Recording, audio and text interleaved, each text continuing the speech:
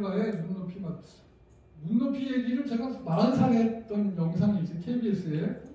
그래서 이 시간에 강의는 모두 끝났지만 동료들의 궁금증은 끝이 없습니다. 가장 인기를 갈수록한 건 의사전이었습니다. 그러니까 저게 아이들 스스로 자율적으로 공부하는 때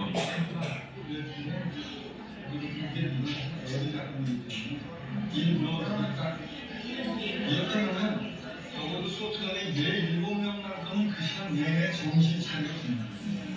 한 마리 일곱 명이 왜냐면 흥분 상태가 되면 내 작품이 수업 시간에 흐른다는 거예요.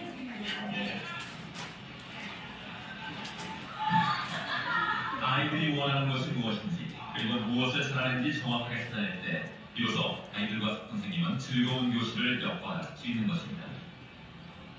그 눈높이라고 하는 것이 우리 저희 성인들은 아이들의 눈높이에 맞춰서 그 마치 미술관에서 아이들이 예, 아이들은 올려다보듯이 우리가 우리 내려다 봐야만 되는 것으로 생각을 하는데 저는 그게 얼마나 착각하다는 착각입니다.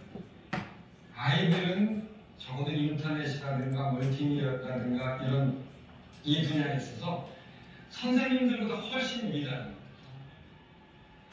그 묵묵히 교육이라는 것은 제가 볼 때 이제 그 선생님들이 아이들을 막 이제 정신없이 뒤쫓아 가려고 발버둥쳐야 되는 상황이 아닌가 그런 게 생각을 하고 있습니다. 네, 이게 딱 40살 때